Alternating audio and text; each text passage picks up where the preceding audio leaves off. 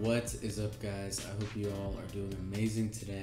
And today we're going to be talking about intrusive thoughts, where they come from, and how to deal with them. This is something that I'm very passionate about because I used to struggle with these for a long time. Today I'm going to share with you some things to really help you get through this. Thank you guys for tuning in, and as always, it is a wonderful one. It's a beautiful morning let's get started. So, what are intrusive thoughts? Well, we can describe them as thoughts that maybe come up at times when we're not expecting them. And they can be things like questioning our own sexuality to like whether we would do an act of violence against someone else. And the thing with intrusive thoughts is why they're actually so dangerous to our mental health is because we get attached to these thoughts. And we get attached through fear. When most people hear attachment, they think about romantic attachment. Ooh, I love this person so much or desire. That's not really what it is.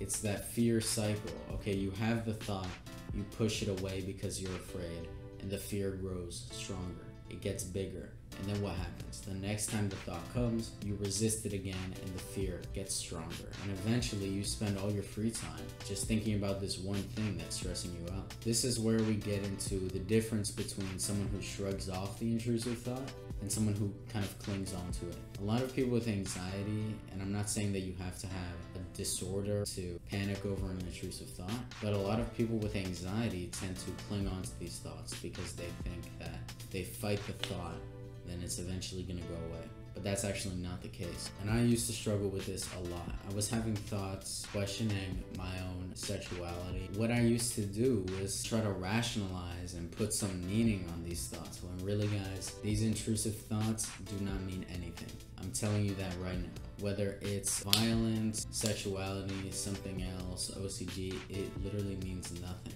As humans, we have the ability to put meaning onto something, to say, this is bad and this is good. And because we label it like that, what happens is the thought comes back to bite us. But that's really a problem that's self created. Today, I'm gonna show you how to take that self created problem and dissolve it. First of all, embrace that uncomfortable feeling. When you have this thought, you're gonna feel uncomfortable.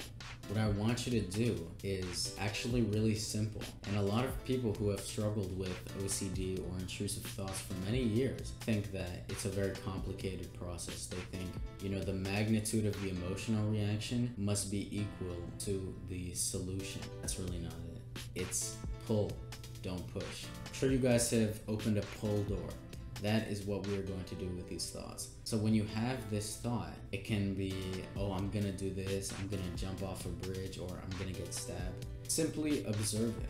And what I mean by that is keep it in your field of vision.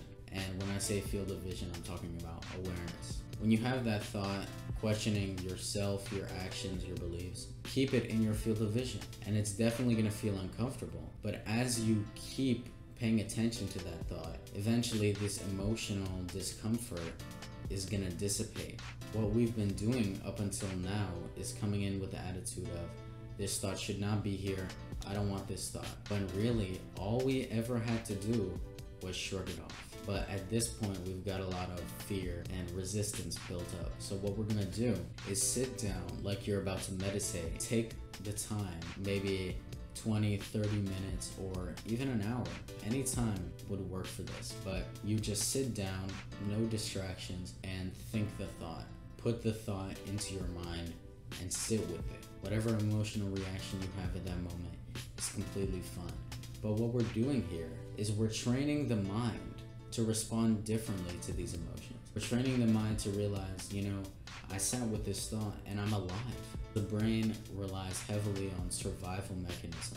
It's built to keep you alive. And the fact that we keep responding to this thought with fear tells our mind, oh, so this thought is dangerous. Well, what happens with danger? We got to keep it in the front of our vision so that we don't die. Because, you know, if I look away for a second and there's like a woolly mammoth charging at my ancestors, then my ancestors are gonna have to look at it, right? So the same thing really carries on to us. It causes a lot of stress, I have to admit, but there are ways to work around it. This exercise is called bringing it into the light. And what you do is you just sit there and it's like you're shining a metaphorical flashlight on this thought.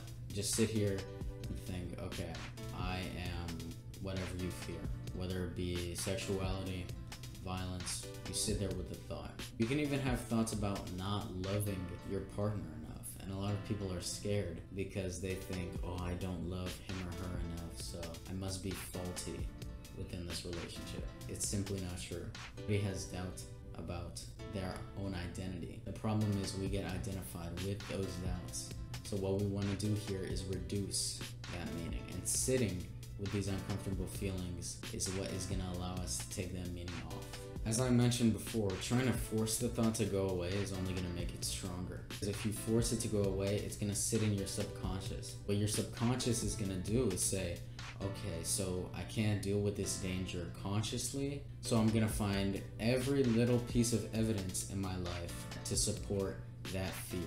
It's gonna make you see whatever the most fearful thing in your reality is. And that's really not what we want.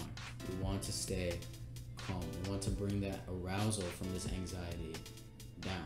And that's what bringing into the light does. No matter how uncomfortable it seems at first, stick with it, guys. And if you start having thoughts that say, this isn't gonna work, this is baloney, what is this guy talking about? That's how you know that it's working. Self doubt creeping in, that's the ego and your old patterns trying to keep you at that high level of stress. We get used to that high level of stress and it gets us quote unquote high, but that's not what we want.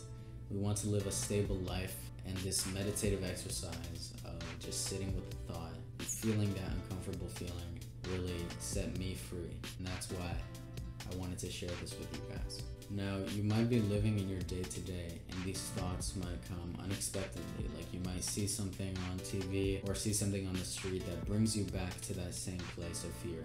And when that happens, invite those thoughts into your mind. A lot of people teach ignore it, ignore the problem, and it's gonna go away. That's only gonna make it worse. So what we do here is when you find yourself getting triggered, say, you know what, I'm not afraid of those thoughts. Those thoughts don't really matter. So you know what, bring it on. Those thoughts don't really matter. I'm completely okay with letting them sit in my mind. And that is what's gonna set you free. Whatever you feel afraid of, kind of visualize it and add like a humorous element to it.